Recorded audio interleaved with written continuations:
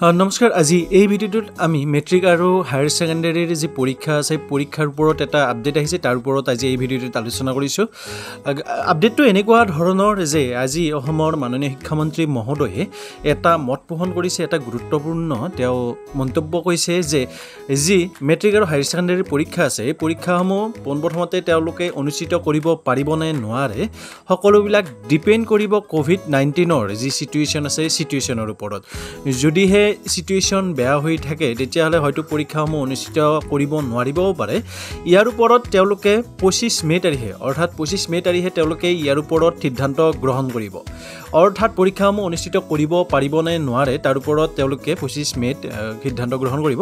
লগতে তেওঁ আজি এটা খুব গুৰুত্বপূৰ্ণ মন্তব্য দিছে যে হয়তো এইবাৰ যদিহে পৰীক্ষা অনুষ্ঠিত কৰিব পাৰে তেতিয়াহ'লে আপোনালোকৰ যি আপোনালোকৰ টোটেল ছাবজেক্ট আছে টোটেল ছাবজেক্টৰ ওপৰত পৰীক্ষা দিব নালাগে।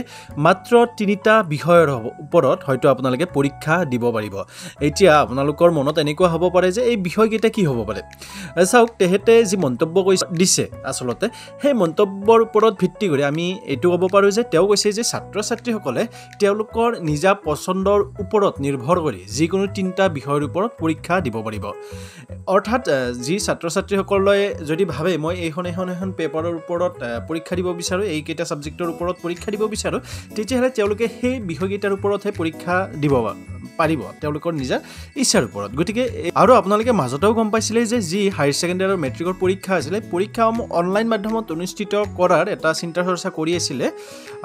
তাৰ ওপৰতো হয়তো তেওঁলোকে পঁচিছ তাৰিখেয়ে কিবা সিদ্ধান্ত গ্ৰহণ কৰিব। অৰ্থাৎ আপোনালোকৰ পৰীক্ষা অনুষ্ঠিত হ'বনে নহয় তিনিটা বিষয়ৰ ওপৰত পৰীক্ষা অনুষ্ঠিত হ'বনে অনলাইন মাধ্যমত নে অফলাইন মাধ্যমত পৰীক্ষাসমূহ অনুষ্ঠিত হ'ব এই সকলোবিলাক সিদ্ধান্ত গ্ৰহণ কৰা হ'ব পঁচিছ মে' তাৰিখে।